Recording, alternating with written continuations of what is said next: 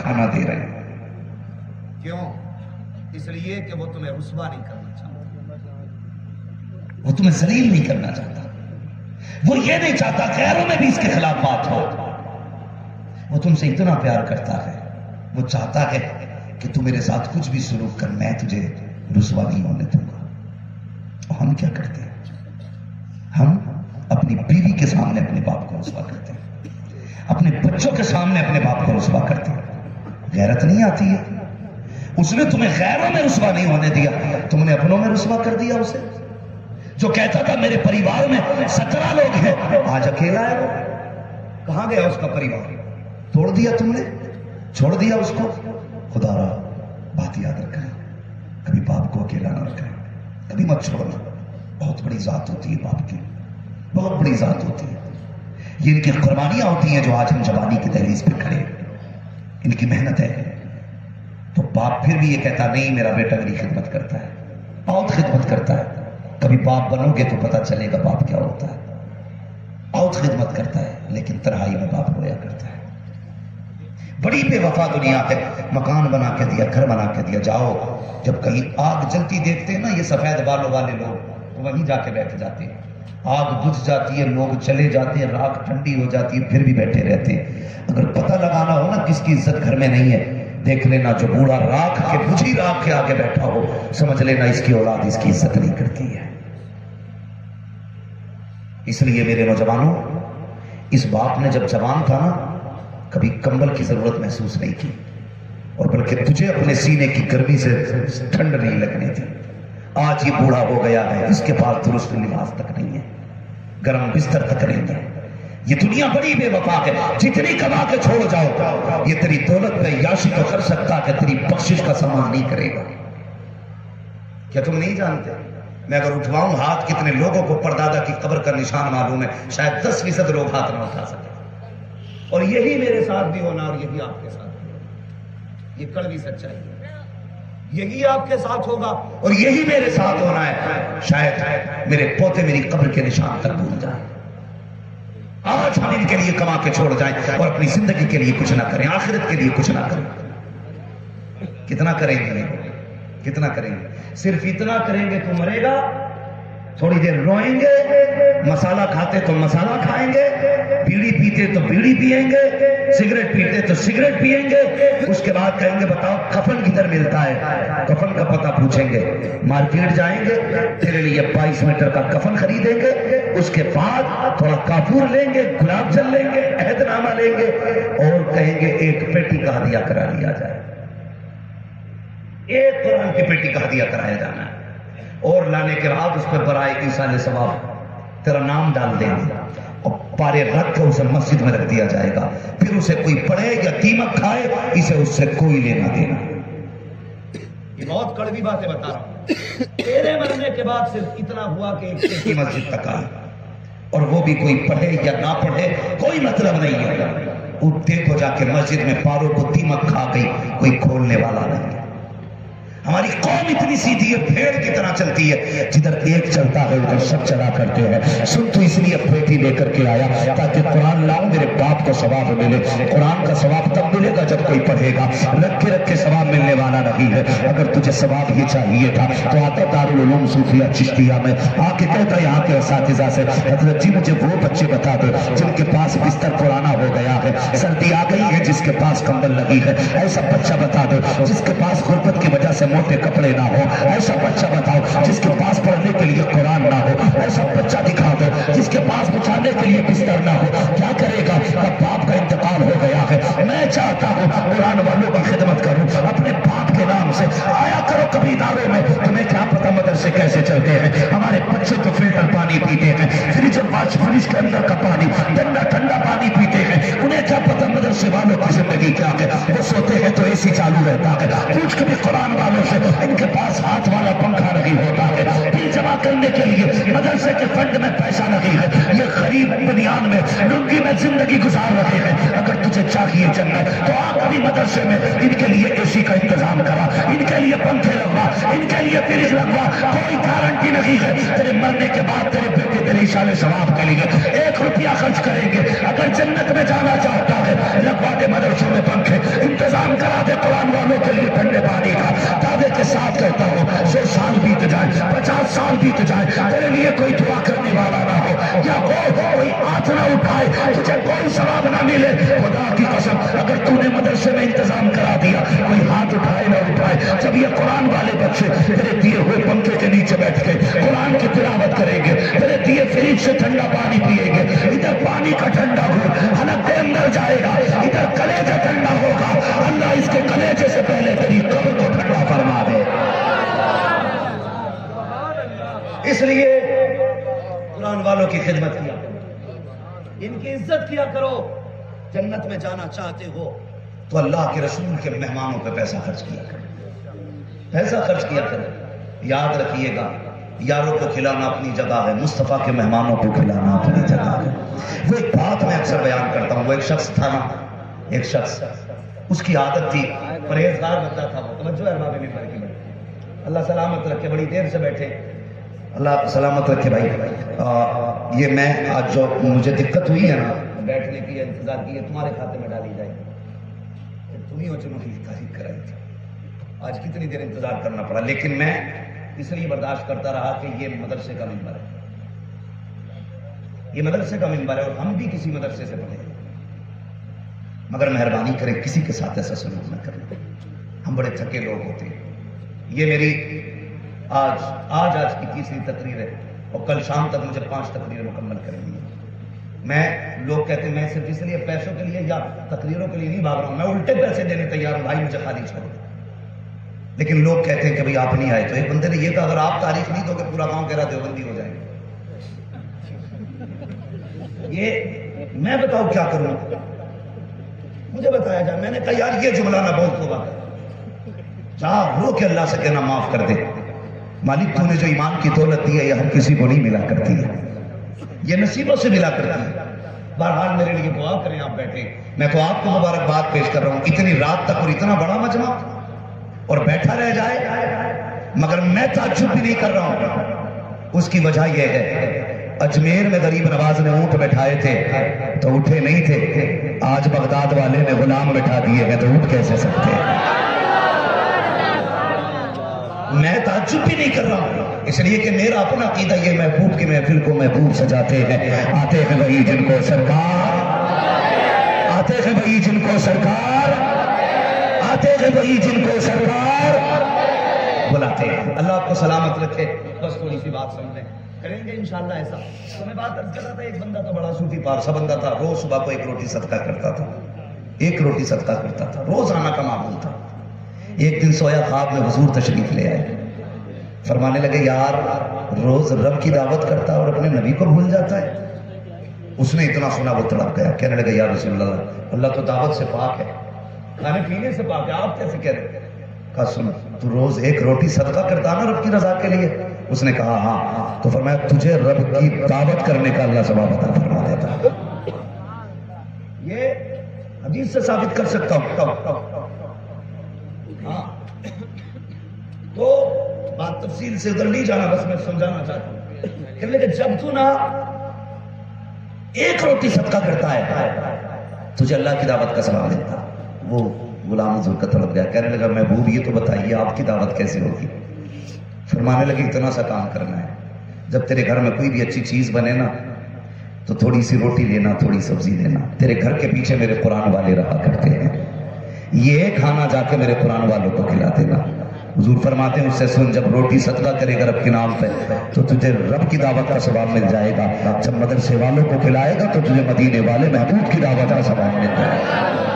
अगर आप चाहते हो, आपको हजूर की दावत का सवाब मिले तो खिलाओ मदरसे वाले खिलाओ। और एक बात कह दू, इन्हें यतीम ना समझना। लावारिस ना समझना ये वो जमात है जिसका बगदाद वाला भी वारिस है, खुद मदीने वाला भी वारिस है। सबसे मज़बूत जमात ये है। गारंटी है, जिसके घर बरकत ना हो, मदरसे का एक बच्चा ले जाके खाना खिलाओ। अल्लाह कितनी बरकत अता करेगा और एक बात बता दूँ इल्म असल है। सरकार गौसे पाक फरमाते हैं सिर तो कुतबा मैंने इतना इल्म सीखा कि अल्लाह ने मुझे कुतबियत के आला मैार पे पहुँचा दिया। अब उन छछुंदर पीरों से पूछ जो कहते नहीं जी, मौलवी की लाइन अलग है, फकीर की अलग है। हाँ भाई, ये निहायत हद हो गई भाई, लूट लिया कौम को। और हमारी कौम है, तुम्हारे आगे देखो, मैं हाथ जोड़ के कह रहा हूँ। जितना नंगा देखा, वहीं गिर गया। ये नंगा बहुत पहुँचा हुआ नहीं पहुँचा हुआ नंगा नहीं होता। पहुँचा हुआ वो होता है जिसकी नज़रों में हया होती है चेहरे में जलवा मुस्तफ़ा होता है। लोग बात करते लो जी बगदाद वालों का ऐसा कर दिया इन्होंने गोश्त पाप को खुदा तक पहुँचा दिया और ऐसा करते वैसे करते। मैंने कहा यार छोड़ बगदाद वाले की बात। वो तो बहुत बड़ा पीर है। वो तो बहुत बड़ा पीर है। अगर उनकी नस्ल की सखावत देखनी है तो बिलग्राम शरीफ आ आके देख उनके बेटों की चौखट पे। तुझे कहना पड़ेगा कौन देता है देने को? मुँह चाहिए? देने वाला है सच्चा। हमारा नबी। देने वाला है सच्चा। हमारा नबी। हमारा नबी तो चोरों से निकलिए। उन पे जाइए जिनकी नज़र जेब पे नहीं दिल पे होती है। नज़र दिल पे होती है। सीपीएम में दो दिन भर्ती रहा। डॉक्टर ने कहा भाई ये तो दिल का बड़ा मरीज़ है। ये बात चलते चलते बिलग्राम शरीफ सरकार वैसमिया तक पहुँची। हज़रत ने फरमाया कि उसको कहो बिलग्राम आए। मैं बिलग्राम शरीफ गया। हज़रत ने फरमाया, परेशान क्यों हो? मैंने कहा, दो दिन हॉस्पिटल में रहा, मेरे दिल की कंडीशन खराब है। नज़र डाल के बोले, दवा मत खाना आग से पानी पीना कुछ नहीं होने वाला है। कुछ नहीं होने वाला है। निगाह वली में वो देखी, बदलती हज़ारों की तकदीर देखी। लेकिन एक बात बता दूँ ये सच्ची बात है, उलमा का बहुत बड़ा मजमा है। और ये बात पूरी ज़िम्मेदारी से कह रहा हूँ, खुदा की कसम, जितने पीर ना बड़े बड़े जलसों में जाने की वजह से मशहूर होते हैं, उससे कहीं ज़्यादा सरकार वैसे मियाँ की शोहरत जलसों में ना जाने की वजह से हो जाती है। जब बात आती है तो वही जो जलसों में नहीं आते हाँ वही जो जलसों में नहीं आते। एक दिन मैंने कहा था तो आप जलसे में क्यों नहीं जाते? कहने लगे, मैं इसलिए कम जाता हूँ कि उसमें जलसों में जाने की वजह से ना इबादत और अपने औलाद वजाइफ में ना थोड़ी सी दिक्कत आ जाती है। कहते हैं जलसे तो होते रहेंगे, इबादत के लिए मौका मुश्किल से मिलता है। कहते मैं इसलिए नहीं जाता जलसों में ज़्यादातर कि मेरी इबादत में खलल ना पड़े। मैं, आप ये कह सकते जी जलसे इबादत नहीं हो रही वहाँ हो रही है। यहाँ शेख सुन्नी भी आते जलसों में जो तुम मजाखोरी के लिए मौलवियों को बुलाते हो कि चटकुले सुना। यहाँ मूड बनाने ना आया करो, यहाँ तकदीर बनाने आया करो। तकदीर बनाने आया करो। हंसलों के कितने दिन एक दिन मर जाना है? बस आखिरी बात सुन ले। मैंने क्या कहा था? ऐसे लोगों से बचना सरकारी अगो से पाक फरमाती से तो खुतबा। मैंने इतना इल्म सीखा कि अल्लाह ने मुझे कुतबियत के आला मैार पे पहुँचा दिया। लेकिन मदरसे के तलबा, आपसे मेरी इतनी गुजारिश है, मदरसे में कोई भी दिक्कत आ जाए, कभी पेशानी पे बल मत लाना। कभी पेशानी पे बल मत लाना। सरकारी से पाक फरमाते मैंने इतनी दिक्कतें उठाई हैं इल्म सीखने के लिए इतने बड़े बड़े फाके किए। कहते कभी कभी ऐसा होता था कि मैं मुर्दों की तरह हो जाता था। लोग कहते थे, गौसल दिया जाए, ये बच्चा इंतकाल कर गया। ऐसी कमज़ोरी आ जाती थी कि धड़कने थमने लग जाती थी। फरमाते कभी कभी इतनी भूख भी लगती थी कि मैं ज़मीन पर करवटे बदला करता था। कहते, सारी दिक्कतें उठाई मैंने, मगर दीन नहीं छोड़ा। मैंने दीन सीखा। और फिर रब ने वो इज़्ज़त बख्शी मुझे। एक दिन मैंने जिद कर ली, खाना नहीं खाना, जब तक खुद रब नहीं खिलाएगा। खाना नहीं खाना, जब तक खुद रब नहीं खिलाएगा। जिद करके बैठे, नहीं खाना। रब ने खजर सलाम को भेजा, जाना मेरे अब्दुल कादिर के पास। वो कुछ खा नहीं रहा था उसे खिला के आ। आ गए खजर। खाओ ना अब्दुल कादिर। का नहीं खाना, जब तक रब नहीं कहेगा, उस वक्त तक नहीं खाऊँगा। हज़रत खजर ने कहा, मुझे जानते हो कहा कौन कहा मैं खजर हूँ? कहा, आपका खजर होना अपनी जगह मुसलम है, लेकिन खाना हम तभी खाएँगे जब हमारा रब कहेगा, जब हमारा रब कहेगा। अब हज़रत खजर मुस्कुरा के कहते हैं, अब्दुल कादिर खाने में अपनी मर्ज़ी से नहीं, तेरे रब के कहने से आया हूँ। उसने कहा कि, मेरे अब्दुल कादिर से जाके कह दो, अब्दुल कादिर तुझे मेरी कसम है खा ले जैसी तरह कहा है बरेली वाले ने कहा था, कसमें दे दे के खिलाता है, पिलाता है तुझे। प्यारा अल्लाह तेरा चाहने वाला है। ये सरकार गौसे पाक की शान। अल्लाह ने वो इज़्ज़त अता फरमाई, प्यारा अल्लाह तेरा चाहने वाला, तेरा मुकद्दर के धनियों के रब ने कादरी बनाया है। इस बात पे जितना नाज करो, कम है कि तुम कादरी बनाए गए इसलिए कि सरकार गौसे पाक ने पूछा, दरोगा साहब, जहन्नम में कोई अपना बंदा भी आना है कि नहीं? कहने लगे, हुजूर, मुझे कादरी को अंदर डालने की इजाज़त नहीं क्यों? क्यों नहीं दी गई? एक मरतबा सरकारी गौ से पाक ने हरम शरीफ के अंदर खड़े होकर एक पैर पे पूरा कुरान पढ़ा। आवाज़ आई अब्दुल कादिर, आज मांग क्या मांग रहा है? कहते, मालिक मालिक जो मैं चाहता हूँ वो तू जानता है। तू खुद दे देगा नहीं, आज तू मांग हम देंगे। आज तू मांग हम देंगे। ये महबूबियत का मकाम है सरकार गौ से बात की। आज तू मांग हम देंगे। तो कहते, मालिक, फिर एक वादा करा। कहा, क्या? वादा कर, जो मेरा होगा वो तेरा होगा। जो मेरा होगा वो तेरा होगा। आवाज़ आई अब तो कादिर दिल थोड़ा क्यों करता है? जो कादरी होगा वो जन्नती होगा। ये वादा रहा जब कादरी को मौत आएगी उससे पहले पहले हम कादरी को तोबा की तौफीक अता करवा देंगे इसलिए बरेली वाले ने कहा था कादरी कर कादरी रख कादरियों में उठा। कदरे अब्दुल कादिर कुदरत नुमा के। कुदरत नुमा के। वास्ते। लेकिन एक बात और कह जाऊँ बुरा ना मानो सरकार गौसे पाक करामत का नूर अपनी जगह, लेकिन तकवे का जो नूर सरकार गौसे पाक के अंदर था, वो नज़र नहीं आता। वो आजकल नज़र नहीं आता है। इतने बड़े सफी सरकार गौसे पाक थे, जब नवाजते थे तो अपना पराया नहीं देखते थे। मुट्ठी बंद करके नवाजा करते थे। और आज तक उनकी सखावत का आलम यह है, जो ग्यारहवीं करता है, वो कभी भूखा नहीं सोया करता है। आज तक की गारंटी है। लो मैं लिख के ले जाओ इसे, जिसके घर में रोटी मुकम्मल ना हो ना। फिर काम कीजिएगा, उस बात की ग्यारहवीं करना शुरू कर दो। खुदा की कसम, उस लंगर के सत्ते में तेरी नस्लों की गुजारी होने शुरू हो जाएगी। लोग कहते हैं, यार, इतनी बड़ी ग्यारहवीं कैसे करें? और वो मैंने कहा, तू बेवकूफ़ है। तू खाली दस्तरखान, बिचार, रिस्क भेजना तो बगदाद वाले का काम है। और हम सुन्नियों का कीदा तो ये है कि ये चक्की फातिमा की चल रही है। जमाना जितना लंगर खा रहा है सारे की दरगाह है? खाते हैं तेरे दर का पीते हैं तेरे दर का पानी है तेरा पानी, दाना है तेरा उलमाए सुन्नत की आमद आमद हो रही है। सारे लोग इज़्ज़त से खड़े होकर के इस्तेमाल करने नारे तकबीर। नारे तकबीर। रसूल पर खतीब अहले सुन्नत हज़रत मोहम्मद शफीक साहब की पर काफ़ी नगर की आमद हो रही है। नारे तकबीर, नारे रिसालत अहले सुन्नत, नारे तकबीर, नारे रिसालत। सुभान अल्लाह अब आप बैठ जाए, हज़रत मुफ्ती हमाद साहब की की तकरीर से भी इस्तेफादा हासिल करें और खतीब सुन्नत हज़रत हज़रत अलहाज डॉक्टर शकील साहब की अल्लाह बरकाती इजहार उलूम जहांगीर के अंबेडकर नगर के चेहरे की। सैर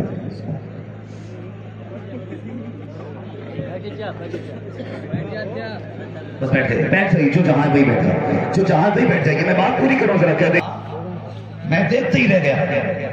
बहुत बड़ी लात हज़रत की माशाल्लाह, हज़रत के आप चेहरे का दीदार करें और मैं बात मुकम्मल कर लूँ। तो हमें फख्र है कि रब ने हमें कादरी बनाया है। ठीक है ठीक है हमें? सारे बोले, हमें हमें कादरी बनाया है। और ये सरकार गो से पाक का कर्म है कि हमारे दस्तरखान होते हैं लंगर उन्हीं का होता है। लंगर उन्हीं का होता है। सरकार गो से पाक को आप देखिए। आप ना कहीं जा रहे थे किसी काम से। रास्ते में दरिया पार करना था कश्ती से। जब कश्ती की तरफ़ पड़े ना तो आपने एक शख्स को देखा कि उसको कश्ती वाला धक्का देकर हटा रहा था।